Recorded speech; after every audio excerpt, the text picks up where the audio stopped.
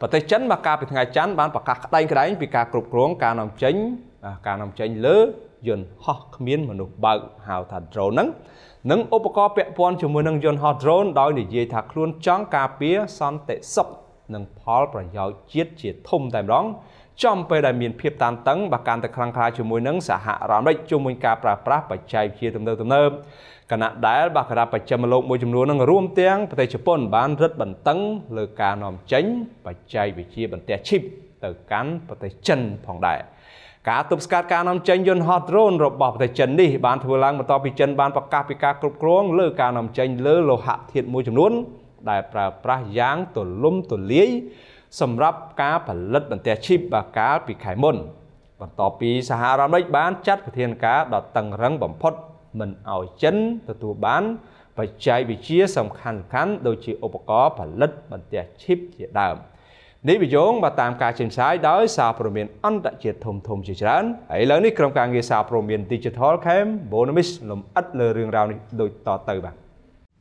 ក្រសួងពាណិជ្ជកម្មចិនបាននិយាយថាការរឹតបន្តឹងលើឧបករណ៍យន្តហោះដ្រូនរួមទាំងម៉ាស៊ីនយន្តហោះដ្រូនឡាស៊ែឧបករណ៍ទំនាក់ទំនងនិងប្រព័ន្ធប្រឆាំងយន្តហោះដ្រូនផងដែរនឹងចូលជាធរមាននៅថ្ងៃទី1ខែកញ្ញាខាងមុខនេះអ្នកនាំពាក្យក្រសួងពាណិជ្ជកម្មចិនបាននិយាយនៅក្នុងសេចក្តីថ្លែងការណ៍មួយថាការរឹតបន្តឹងនេះក៏ធ្វើទៅលើយន្តហោះដ្រូនសម្រាប់ប្រើប្រាស់ធម្មតាផងដែរហើយគ្មានយន្តហោះដ្រូនស៊ីវិលណាមួយអាចត្រូវបាននាំចេញសម្រាប់គោលបំណងយោធានោះឡើយអ្នកនាំពាក្យក្រសួងពាណិជ្ជកម្មចិនបានបន្តថាការពង្រីកវិសាលភាពនៃការគ្រប់គ្រងយន្តហោះដ្រូនក្នុងកម្រិតតិចតួចបំផុតរបស់ប្រទេសចិននៅពេលនេះគឺជាវិធានការសំខាន់មួយដើម្បីបង្ហាញពីជំហររបស់ចិន ជាប្រទេសចេះទទួលខុសត្រូវដ៏សំខាន់ដើម្បីអនុវត្តគំនិតផ្ដួចផ្ដើមសន្តិសុខពិភពលោក និងរក្សាសន្តិភាពពិភពលោក ប្រទេសចិនមានឧស្សាហកម្មផលិតយន្តហោះដ្រូនដ៏ធំមួយនិងបាននាំចេញទៅកាន់ទីផ្សារជាច្រើនរួមទាំងសហរដ្ឋអាមេរិកផងដែរសមាជិកសភាអាមេរិកបាននិយាយថាយន្តហោះដ្រូនជាង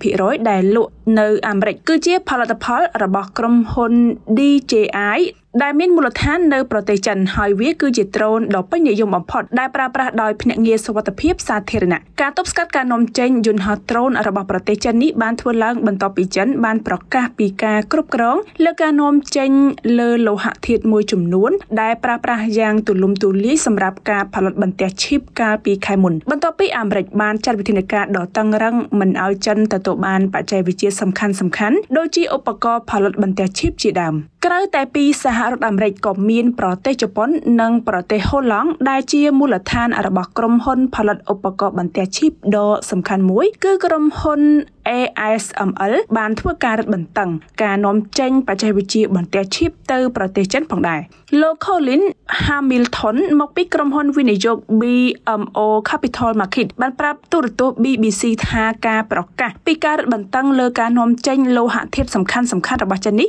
គឺមិនមែនជារឿងចៃដន្យនោះទេប៉ុន្តែវាបានកើតឡើងដោយសារតែមានការរឹតបន្តឹងលើការនាំចេញបន្ទះឈីបរបស់ប្រទេសហូឡង់និងប្រទេសប្រចាំលោកដទៃទៀតរួមទាំងជប៉ុនផងដែរ លោក Hamilton បានបន្ថែមថាវាគឺជារឿងធម្មតាទេប្រសិនបើចិនមិនលក់បន្ទះឈីបទៅឲ្យប្រចាំលោកនោះទេក៏ពួកគេមិនលក់ឲ្យចិននៅសម្ភារៈសម្រាប់ផលិតបន្ទះឈីបទាំងនោះមកវិញដែរ។